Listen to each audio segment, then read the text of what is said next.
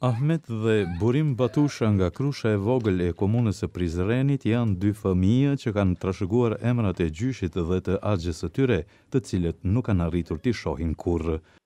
Për gjyshën e tyre Vezire Batusha ka qenë e rëndë t'ua shpjegojë fëmijëve se pse ata nuk kanë arritur ta njohin as axhen tjetër Lirimin.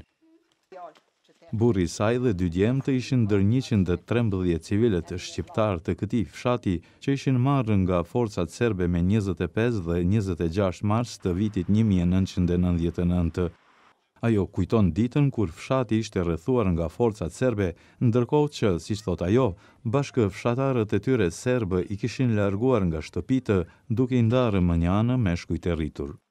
E qetu i kanë bo ren, krejt te shpi dyrve atij kunatit, e te këto dyrt e mija pak ma na i në bele. Krejt burrat janë konë, krejt duart qashtu përmas, atëherë këtu kanë hi në shpi teme, dy, me ka dy automata, dy vetë, edhe atje në at shpi e kunatit qashtu kishin hi për mi kulme. Pasi që fillimisht forcat serbe ia kishin marrë bashkëshortin Ahmetin, zonja Batusha ishte përpjekur t'i shpëtojë tre djemtë e saj, Burimin shtatëmbëdhjetë vjeç, Lirimin pesëmbëdhjetë vjeç dhe Beharin dymbëdhjetë vjeç të cilin e kishte veshur si vajzë. E qetu që m'i kanë nalë djemtë mua, qe qetë ven m'i kanë nalë djemtë, ai që e sokotiqë aty që e tha stoj, tha ti me djemë,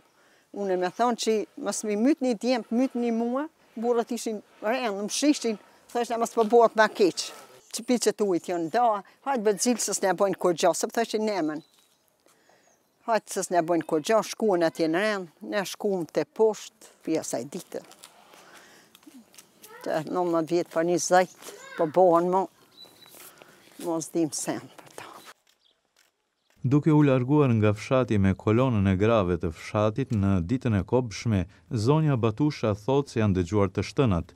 Vendi në të cilin siç thotë ajo janë vrarë djemtë dhe burri, së bashku me bashkëfshatarët tjerë të tyre, pas luftës është gjetur i shkatërruar. Shpeshherë ajo viziton këtë vend dhe qan.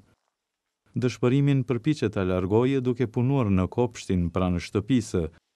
Jo rrallë dëshiron të çmallet me familjarët e saj të zhdukur, duke parë fotografitë, por megjithatë, mbushet me mllef. Dy djemtë, mua, që m'i kanë nalë Bora edhe Gjorgji, qetu kojshive tonë, kanë punu bashkë me burrin tem, Podrum, Ktu të Krushës Vogël, sërb të huj s'i kan myt po sërb të ton, të Krushës Vogël se gjysa u kon shqiptar gjysa u kon sërb.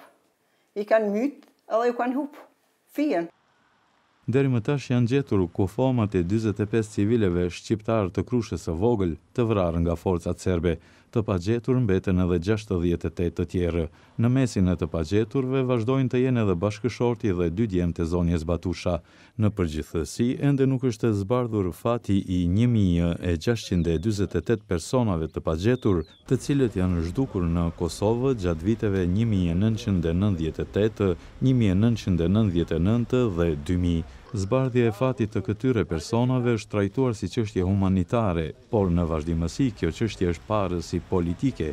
Ajo do të jetë sfidë e madhe për paqen dhe pajtimin ndërmjet popujve. shqiptarë dhe serbë. Mund të ketë në letër një lloj pajtimi, mirëpo de facto, pra një pajtim i mirëfilltë nuk mund të bohet pa u zgjidh problemet që kanë dalë si trashëgimi e luftës në rend parë çështja e personave t'zhdukun, pra zbardhja e fatit të personave t'zhdukun, mirëpo edhe përgjegjësia penale për kryerës të krimeve të luftës. Pra ne jemi të vedishëm që nuk do të dënohen kurrë të gjithë ata që kanë bo krime, Po së paku të ketë ma shumë gjykime dhe ma shumë kryerës të krimeve të luftës përgjigjen para drejtësisë.